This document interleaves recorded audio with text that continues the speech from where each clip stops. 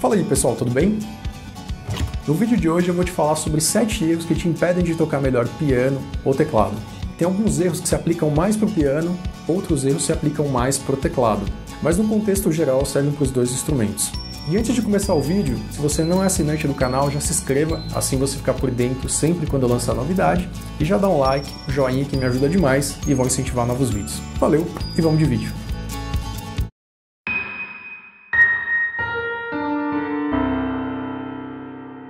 Postura. Falando da postura de um jeito totalmente prático, o ideal é você sentar o mais ereto possível de um jeito confortável, é claro, você não ficar super duro, super engessado, parecendo um robô, mas que você fique com a coluna reta e que você esteja sentando da metade do banco do piano para frente, ou um banco de piano, uma cadeira, qualquer coisa que você estiver usando em casa. Imagina que se você ficou o dia inteiro vendo televisão assim, você não vai aguentar ficar assim por muito tempo. Então tocar o instrumento é a mesma coisa. Fica numa postura confortável, porém reta vai te ajudar a melhorar e com certeza você vai ficar muito mais confortável na hora de tocar. Além do que, se você estiver tocando um piano, por ser um instrumento muito grande, você consegue fazer esse movimento de mobilidade. Então acaba ficando mais fácil e você consegue atingir o instrumento inteiro. Segundo, distância do seu corpo em relação ao instrumento.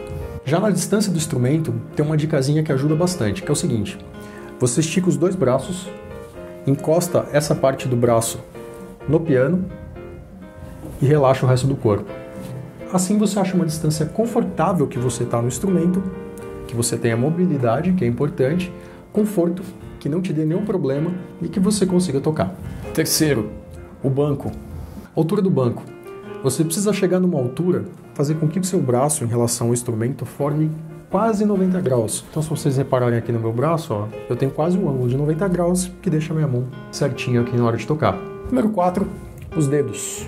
Parece bobagem, mas os dedos mudam totalmente o jeito que você vai tocar ou não uma música. Só usar um pouquinho a lógica. Você tem 10 dedos, nem sempre você vai usar os 10 dedos, mas o instrumento tem muito mais que isso. Então você precisa digitar de um jeito que isso fique mais fácil. Fique sempre atento aos dedos que aparecem na partitura. A maioria das partituras, a maioria dos exercícios indicam quais os dedos você vai usar. Aí muita gente vai falar, ah, mas eu ponho um dedo que fica mais fácil para eu tocar. Parece que fica, mas na verdade não fica, porque você está tendo um segundo trabalho de achar o dedo correto. Então vai nos dedos que a partitura está indicando que fica muito mais fácil na hora de tocar. E sem contar que aqueles dedos que estão indicados na partitura, a pessoa já pensou para fazer de um jeito que fique fácil. Então siga os dedos.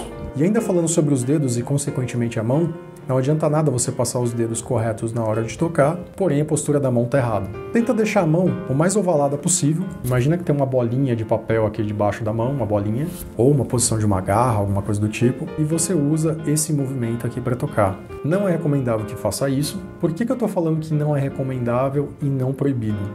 Porque tem pianistas muito bons que tocam assim, mas eles são exceção à regra. Na sua casa, para você não ter problema e conseguir fazer isso melhor, deixa a mão o mais ovalada possível use os dedos corretos e lembra de tudo que eu já falei. Sentar reto, a posição do banco, a postura, postura da mão e os dedos. Número 5, velocidade. Outro erro extremamente comum é querer tocar tudo muito, muito, muito rápido. Se você está aprendendo um exercício, toca devagar. Toca o mais devagar possível e depois você aumenta. Aumentar a velocidade no exercício, numa música, uma coisa nova que você está aprendendo, é o último do último do último passo tá tudo bem, tá tudo certo, resolveu a questão da postura, resolveu a questão dos dedos, tá tudo certo, aumenta a velocidade. Imagina que estudar devagar é como se você colocasse uma lupa no seu exercício. Com essa lupa você consegue ver todos os detalhes, consegue ver tudo o que está errado, corrigir o que está errado e aí sim tocar na velocidade que o exercício é ou a música. Número 6, tempo de estudo.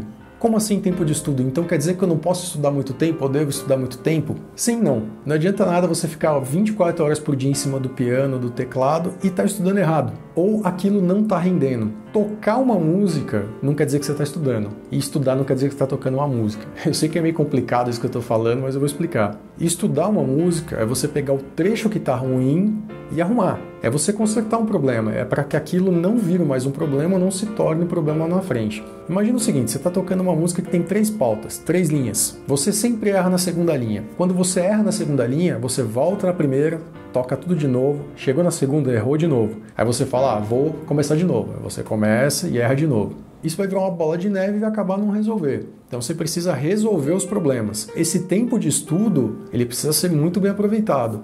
Resolve qualquer problema que tenha na sua música, parte que você está errando, parte que você tenha dúvida, parte que você precisa corrigir os dedos e outras coisas, e depois você toca a música inteira. Último fator: exercícios fora do instrumento. Às vezes o que está fazendo você errar não é propriamente dito tocar, e sim o conteúdo que está ali na música. Vamos supor que você tem uma música escrita na partitura e você não consegue ler. Se você não consegue ler, você não consegue ler nem no instrumento e nem fora do instrumento. Pega essa partitura e leia como se fosse um texto mesmo, em voz alta.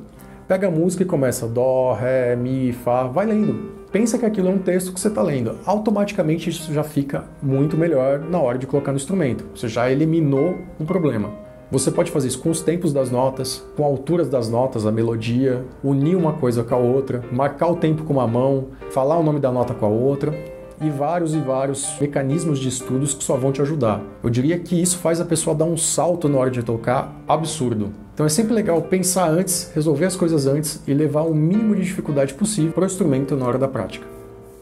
Se você não é assinante do canal, já se inscreva, assim você ficar por dentro sempre quando eu lançar novidade. E já dá um like, um joinha que me ajuda demais e vão incentivar novos vídeos. Valeu!